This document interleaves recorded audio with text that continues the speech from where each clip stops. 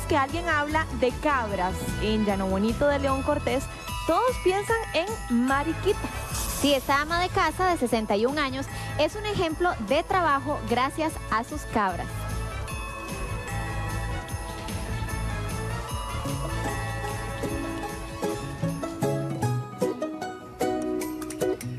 Desde muy temprano, Doña María se alista para un día muy agitado. Un ejército de 30 cabras la espera, como ya es usual, como la conocen en el pueblo. Tiene ya tres décadas de experiencia.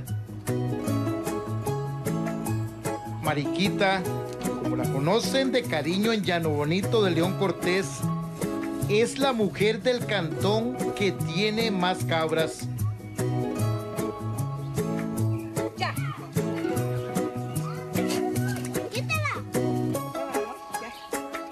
Tenía dos niños y la leche era muy cara para comprar, entonces comencé con una cabrita pequeña y duré muchos años con una y dos. Y un día dije yo, bueno, qué raro, complicarse por dos, mejor me complico por más cantidad. Y así comenzó el proyecto para Doña Mariquita.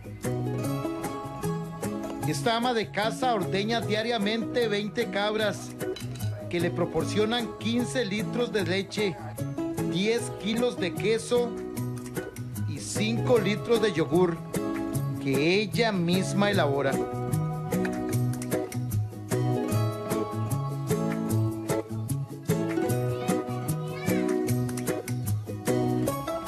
Su proyecto Caprino es un ejemplo en la zona de Los Santos. Un modelo a seguir para muchas amas de casa buscan llevar un dinero adicional a sus hogares.